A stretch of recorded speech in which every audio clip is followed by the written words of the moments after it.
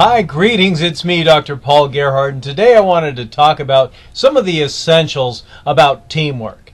Let's face it, uh, no matter whether or not you're working on a virtual team or if you're a professor in a classroom, somehow you are always working on a team. And what we know about teaming is that when more people get together and they could fluently share their ideas, there's greater innovation and creativity that is, comes as the result.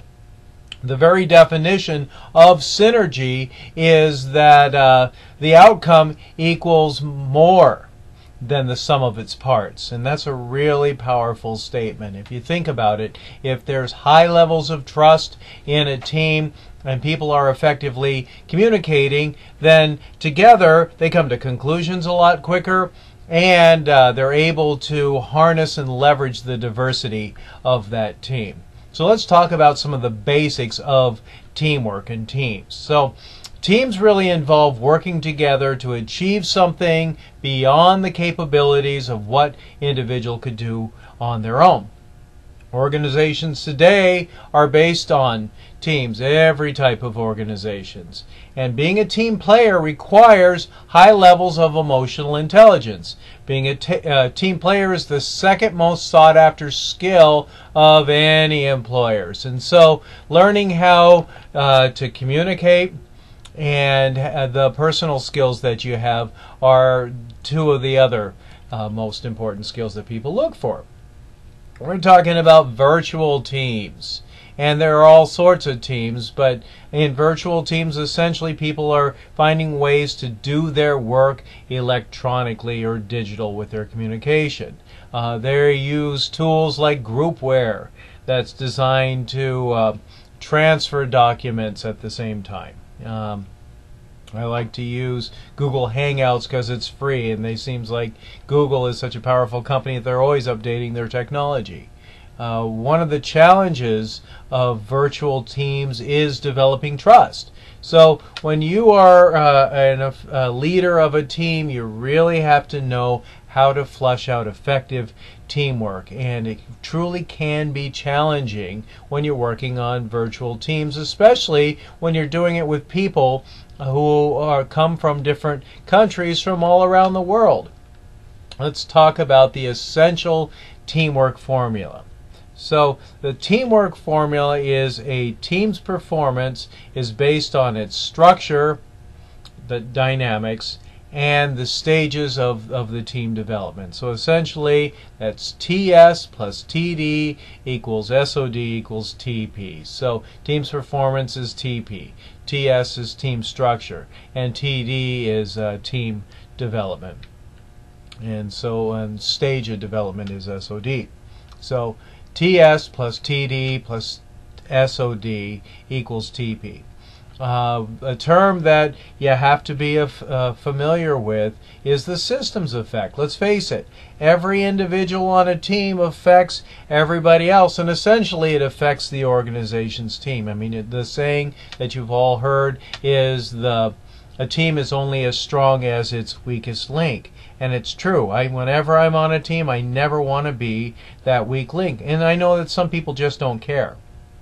So um, your job as a leader is to really help motivate people and get them to to care. It just takes one person to bring down the effectiveness of a team. So I'm a big fan of when uh, a team is not as effective as it can. I'm a firm believer that it is the leader who needs to be able to help move that team into a uh, better position, and they do that by addressing and building, addressing challenges and building uh, team's performance.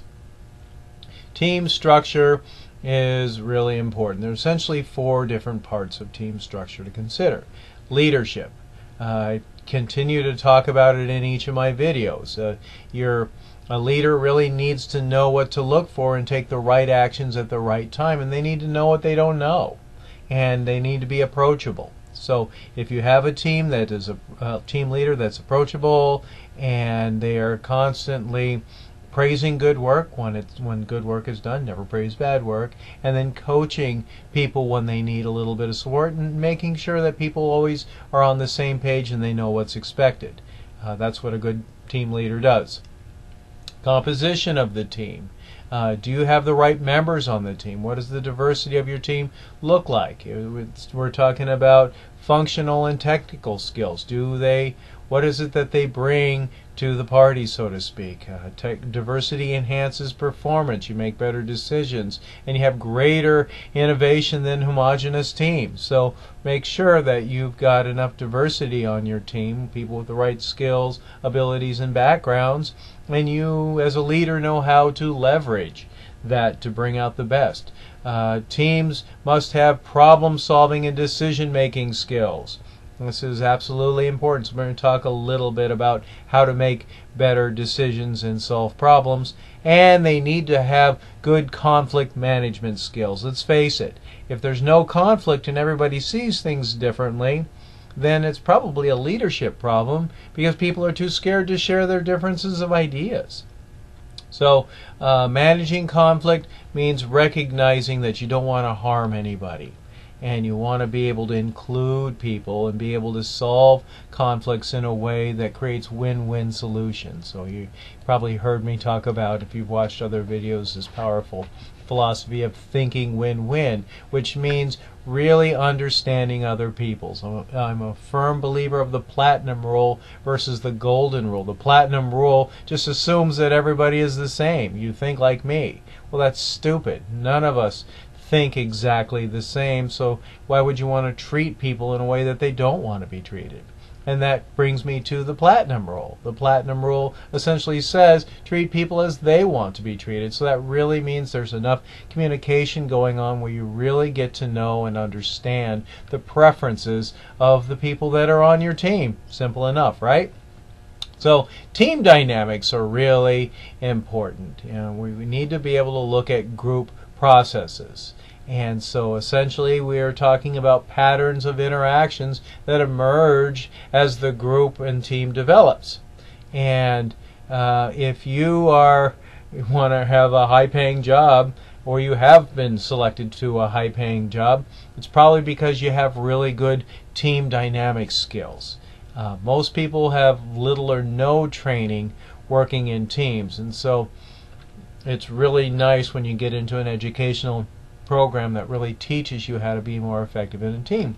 Well, not everything is going to go as expected, but you learning how to stay into a team and then navigate it effectively uh, can help you develop better team uh, skills. So uh, essentially there are six parts of group dynamics and we're going to look at each one of these. Um, these team dynamics or group dynamics are objectives, size, norms, cohesiveness, status, and roles. So for objectives, uh, let's talk about it. It's about setting goals. And you have to be very, very clear on what the objectives or goals are.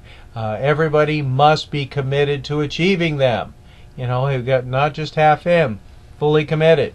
And they want to make certain that uh, the goals are their priorities. The team members count too. Uh, people must find a way to work towards consensus of commitment towards these goals. And without goals, everyone would be uh, would be floundering around essentially. So having very very clear goals and objectives is important. Size matters, and I'm talking about teams. So the bigger the team, uh, the more challenging it gets to be able to uh, benefit from the diversity. So smaller teams can be easier to manage. Functional groups probably should be around 14 to 15 people. Task groups are ideal at 5, but anywhere between 3 and 9. And when you have really large teams, things can move slower or need to move slower in order to get people on the right track but because there's going to be more ideas that, that are emerging. With larger teams, you really have to have more structure. Uh, leaders need to be more autocratic and a little more formal.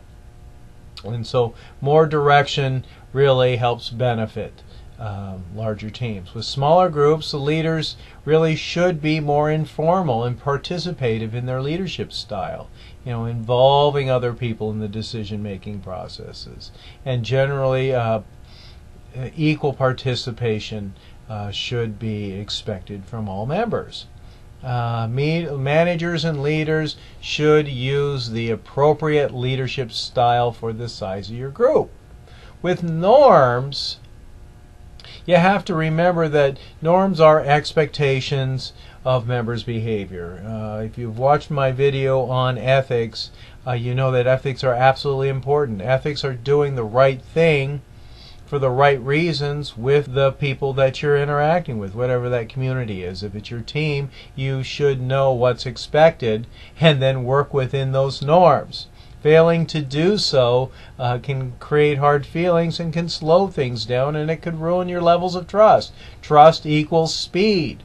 Uh, so you are always being tested. Are you are you doing what's expected? Do you understand the group norms? And so we all have to be aware of what those groups norms are and make sure that we're helping each other work either change the norms together as a team or work within those teams and be a little more compliant. We could do that through peer pressure if we all have, you know, the same equal levels of titles within a team. So you can't ridicule, ostracize, or sabotage, or physically abuse, for that sake, anybody on your team. You know, we have to be respectful in bringing people back into a team. Remember, relationships are fragile.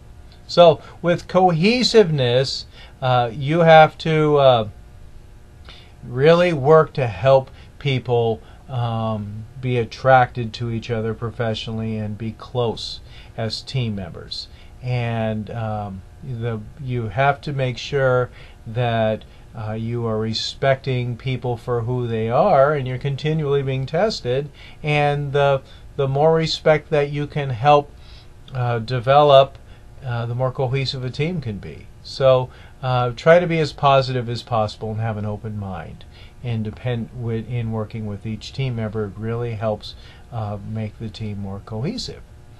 Uh, some factors that you should consider regarding cohesiveness are objectives.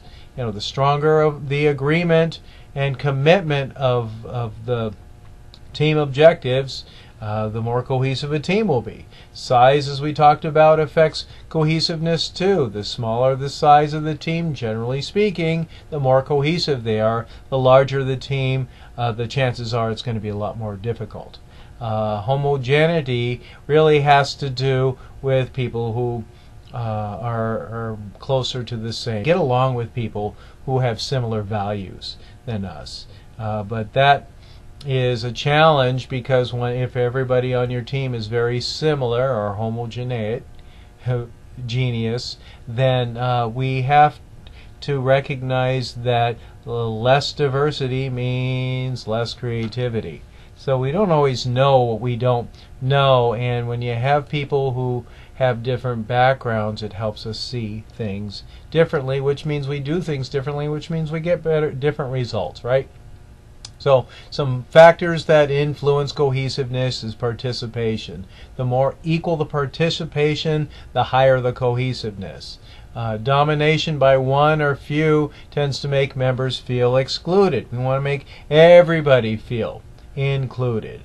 Uh, competition or intergroup competition uh, lowers the level of uh, cohesiveness. So help people accomplish things within your team. You know, when you get done with something, show that you care, give credit to the whole team, and you got everybody's back. Help other people out. Uh, the the more you win, the stronger the cohesiveness. So more successes with your team probably will help generate more successes. So uh, success breeds success, right? You can't deny that status is something that's people are always thinking about in the back of their mind. So sometimes it has to do with job titles or seniority or how much people make or areas of expertise, uh, education, race, gender. uh, appearance, all of these things affect how people perceive people and and maybe people according to status. Uh, it does face uh, affect team performance. So, uh, as a leader, you have to be able to facilitate respect among people and help everybody feel genuinely included. You know, we talked about Graen's um, LMX theory in another video that I have posted online. You know, there shouldn't be out groups and in groups. Everybody should feel like they are included. And so there should be status congruence. People should feel accepted. They should equally feel job satisfaction as, as a member of their team. People should feel happy about who they're working with. And when there's hurt feelings, that could that causes things to not work as well. So we all need to help people feel included and genuinely valued. People have to be very clear on what their roles are and what's expected of them as it relates to their roles. When you change your roles, you change your goals. So having very, very clear um, definitions of who you are within your group and making sure that you're meeting the expectations of other people as it relates to your role is uh, important too. If you think about the fa- your family unit, you just expect no matter how you how old you are that where you are in your family role that kind of has to do with what's expected of you. So with task roles, these are things that group members do or say directly to aid in the accomplishment of, of the objectives. So you've got to have objective clarifiers. You know, make sure everyone understands the goal. Planners need to determine how the goal will be met. Organizers are the ones who are assigning and coordinating the resources. The leaders influence others by directing what goes on. And then there'll be controllers. And the controllers take corrective action to make sure that the goal is met uh, and keeping people on target. Um, there are um, always going to be maintenance roles that take place. And uh, the, in teaming, there are formers. These are the people who get the members involved and are committed. Consensus seekers, these are the people who get members' input and agreement on decisions. Harmonizers uh, help resolve conflict with other members. Gatekeepers see the appropriate norms are developed and enforced. Encouragers are uh, supportive and friendly. And compromisers get members to adjust their position to gain cohesiveness. Maybe you see yourself in some of these roles as you naturally act within teams. So uh, there are people with self-interest roles on all sorts of different types of teams. And these are people who say things to get their own needs or goals met at the expense of the team. Um, they may be aggressors who deflate other people's status with negative criticism and put other people down. There may be blockers. These people resist group effort and try to prevent the team from meeting its goals. They're recognition seekers, and these people try to take credit for the group's accomplishments. And then there are withdrawers, people who physically or mentally are not involved in the group and are more concerned about their personal matters. So if you are any of these, you probably are really the weak link on the team. So don't make him weaker, make your team stronger. And if you're a leader, you need to recognize that people may be filling each of these different roles, and you've got to find systems for managing those. There are five stages of development that teams go through from beginning until the, the team terminates. And as you look at these teams, and almost everybody knows these uh, very famous team stages, but I'll talk about them. Uh, it really is important to understand that as a leader you need to recognize what style of leader you you, need to be for each stage of uh, development that your team is in. So with orientation, the leader really must be more autocratic. This is the forming stage, as, as we often call it, and roles and goals must be clearly defined. Uh, the storming stage, uh, the, the leader must be more consultative and because there's dissatisfaction among your team, and that's and uh, learn people are learning about each other and building trust and um, on starting to understand each what each other can bring to the team. So the consultative approach is uh, the second stage that a team goes through, the storming stage. And so leaders need to be consultative. Um, when the norming stage is going along, uh, the leaders just need to be participative. And uh, in that norming stage, relationships are built, affiliations are made, norms are set, and people are really learning how to work together.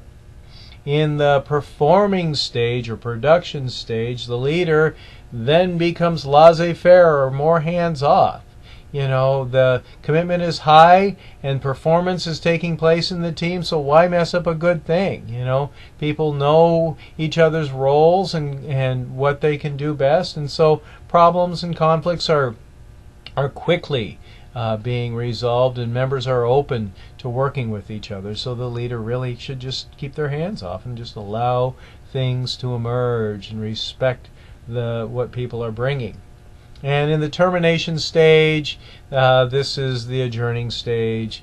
Uh, things kind of people are going their own ways, and so um, nobody stays on a team forever and ever and ever, or very rarely, I should say. So you got to be aware of how to be an effective leader in that in that type of position. So, um, planning meetings. Meetings are always an important part of moving goals forward.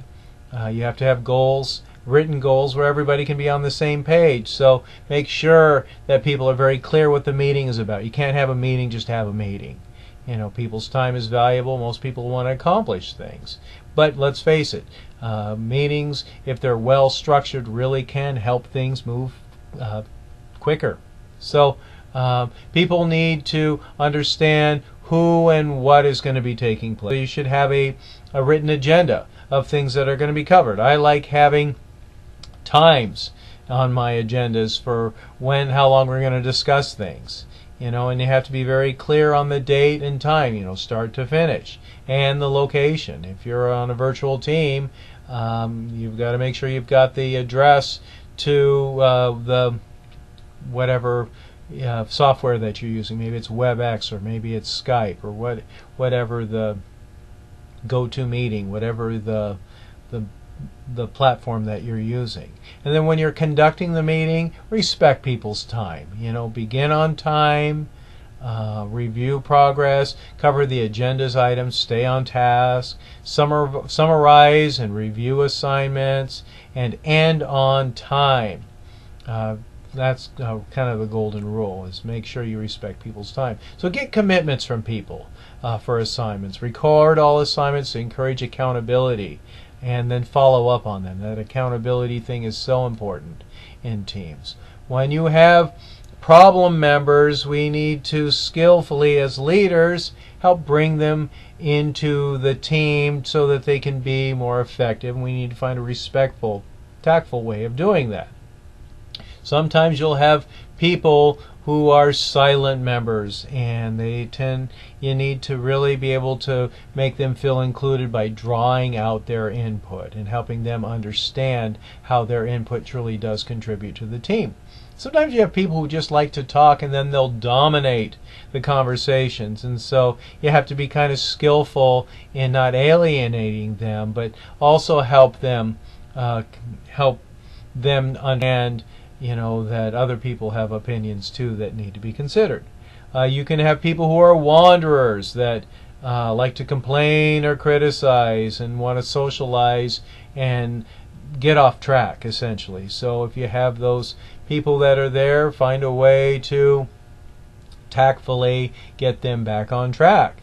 Uh, sometimes there'll be people who are bored. They may be know-it-alls. So uh, when you're working with these people, um, help try to keep them interested and active. You know, ask questions of them. Sometimes you have people who just like to argue. So if you've got that arguer in there, uh, you should never uh, argue with people in a group. You know, can't allow personal attacks. Stay focused on the goal. Maintain your uh, way of being so it's calm, cool, and collected. Set a respectful, professional tone, of course. And then you'll have social loafers, and these are people who just ride essentially on the backs of everybody else's hard work. And so, uh, these people. Uh, you, you really have to be proactive and get them involved. You know, so when working with people, again, don't embarrass people, don't intimidate people, don't argue with people, um, even if you're being provoked. You know, you must be a leader that people will always respect, and so take the high road. Uh, help maintain a sense of professionalism.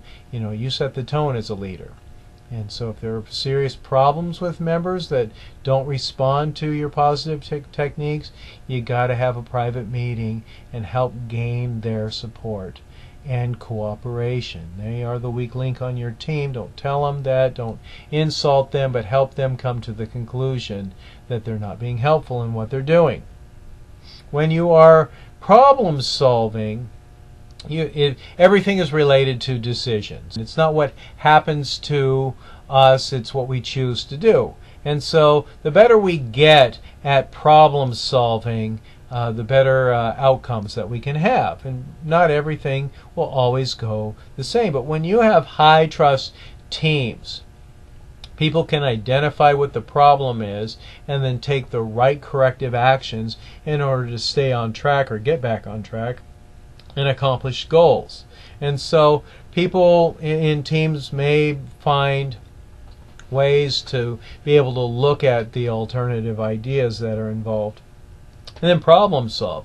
You don't always know what you don't know, but it is pretty amazing how when you if there's good leadership who really understands how to facilitate effective communication, that it may be easier to come to conclusions. So essentially, these here are the steps for problem solving. It's not rocket science. One, you have to define the problem. If you can't solve it, you don't know what this what it is. You got to separate the symptoms from the cause.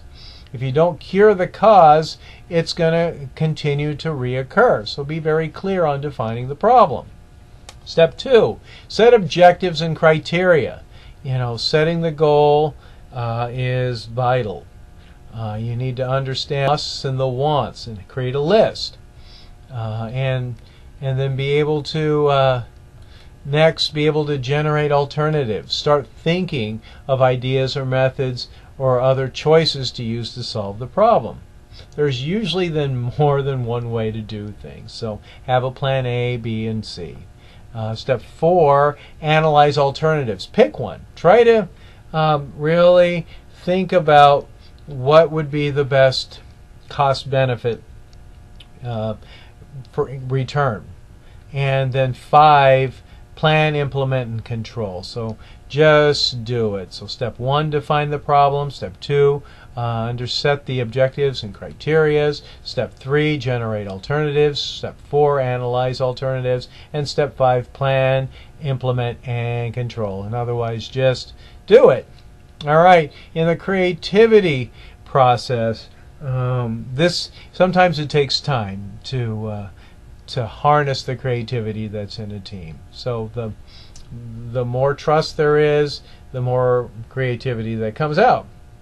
So creativity is develop the ability to develop unique alternatives to solve problems. I hate the term thinking outside of the box, but you're you're looking at things from multiple ways and you're giving it a try. With innovation, it's the actual application of the creative ideas. So um, it really is important to put a little bit of pressure in order to come up with the best decisions to innovate, creating something new. So you do this creative uh, processing in essentially four different stages. There's the preparation stage where you get familiar with the problem, you get the facts, you ask others what it is, you get their ideas and feelings, and you look for an unusual angles. And you, you try not to set any limits or boundaries. Then, step two or stage two is possible solutions. Do some brainstorming. Look for as many solutions as possible without passing judgment. Incubation, you know, take a break. We work better when we have a fresh minds. Uh, I would love to, to believe that we work best after we get a good night's sleep. So make sure that you get some insight. Never make decisions when you're tired. This is my rule of thumb. And then evaluations. Once you choose your course, think it through and then make sure that it works. So essentially, um, you can come to better uh, conclusions when you do a brainstorming process. You know, you're generating lots of alternatives and uh, you should have some ground rules. One, get as many ideas as possible. Um, so quantity should be a good rule. More and more and more and more ideas, the better. Two, when you're getting a bunch of ideas, you need to keep them flowing, so make sure that there's no criticism. You know, hold your own evaluation of what's going on and just allow people to share ideas openly without criticism. Then think outside of the box, you know. Um, really dig deeper and think about what other things could be involved that, that might, you know, in an ideal world, help solve this problem. And then build on ideas uh, that people are presenting. You know, try to see if you can make other ideas work. And then really write things down along the way so that uh, maybe you might have to take a few steps back, but you've got some things that uh, you can take a look at to help. So there really are advantages and disadvantages in group decision making. So on the pros side, the advantages are better decisions. You help avoid errors with people. I like to play devil's advocate. Um, you have more choices. Um, you have greater acceptance and commitment, and you have higher morale levels, levels better job satisfaction. Uh, when I talk about organizational change, when you're involving people, people become more committed. The cons is it does take time to do group decision making right. Um, sometimes there are people who become dominant in groups, and so you have to be able to work, work with them. Uh, groupthink is something that very often emerges. You know, people get trapped in just going with one idea that they're missing out on other alternatives. So make sure that there is not that conformity. And then responsibility is important. You know, people uh, should be accountable for participating and doing their fair share. So, in this world where we will undoubtedly sooner or later be working on teams that look different than us, have different cultural beliefs than us, we must learn to help build cohesive teams that are respectful to people's differences. We have to understand people's different cultures, especially individualistic versus uh, collective cultures, and be able to use the technology that's available to be able to communicate in effective ways that build trust, that help people feel like they're generally uh, included and understood. All right, I've talked longer than I had planned on, so I hope that I've given you some things to consider as you work a team or lead a team. And more importantly than this, I hope that you have a great day because only you get to choose how you feel about it. I'm Dr. Paul Gerhardt.